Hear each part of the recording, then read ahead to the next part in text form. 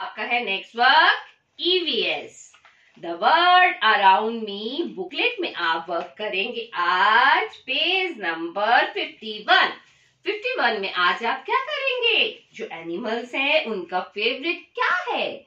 वो क्या खाते हैं, क्या खाना पसंद करते हैं? उस दिन आपने क्या किया था? उस दिन आपने सीखा था एनिमल्स अपना घर कहाँ बनाते हैं? कौन कौन से एनिमल हैं जो कि अपना हाउस खुद बनाते हैं? और आज क्या आप लिखेंगे? आज आप मैचिंग करेंगे कि कौन कौन से एनिमल को क्या क्या खाना पसंद है, उनकी फेवरेट चीज़ क्या है? जैसे कि मैंने टू पिक्चर्स भी ड्रॉ की हुई हैं। माउस एंड एलिफेंट तो माउस का फेवरेट क्या है? चीज़ क्या खाता है उसका फेवरेट क्या है?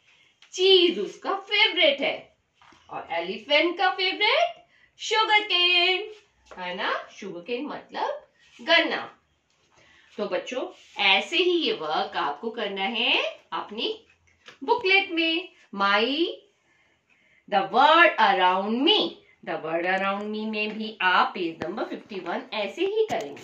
तो बच्चे, इसको भी हम कर लेते हैं बुक में वर्क जैसे कि फ़र्स्ट है पिक्चर एलिफेंट की. तो एलिफेंट का फेवरेट, शुगर केन, गन्ना। और रैबिट का फेवरेट, कैरेट। कैरेट मतलब गाजर। लाइन का फेवरेट क्या है? मीट। मीट उसको बहुत पसंद है। और डॉग का फेवरेट, बोन। बोन मतलब हड्डी। माउस। माउस का फेवरेट चीज़, पनीर। मंकी का फेवरेट बनाना। ये बनाना तो मेरे बच्चों का भी फेवरेट है। क्योंकि मेरे प्यारे बच्चे फ्रूट भी खाना पसंद करते हैं और साथ साथ में वेजिटेबल भी, क्योंकि मेरे बच्चों की हाइट बढ़ जाती है है ना? तो बच्चे, आपको इसके साथ साथ में और एक और बुकलेट में भी वर्क करना है। तो बच्चों, इसके साथ साथ में आपको पेज नंबर 51 के साथ साथ में ईवीएस के साथ साथ में बच्चे, आप इस बुक को भी साथ साथ में कंप्लीट करेंगे। आपने इसमें कौन कौन से पेजेस कंप्लीट किए थे?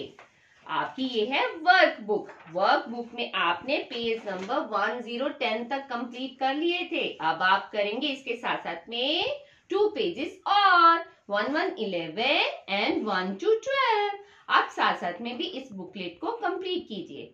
क्योंकि अब आपको capital letter and small letters अच्छे से आ चुके हैं तो अब आप इसमें इजीली वर्क कर सकते हैं। जब भी आप फ्री होते हैं तो अपनी इस वर्क बुक को भी कंप्लीट किया करो।